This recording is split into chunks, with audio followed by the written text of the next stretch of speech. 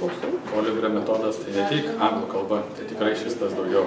Pabandyk lietuvių.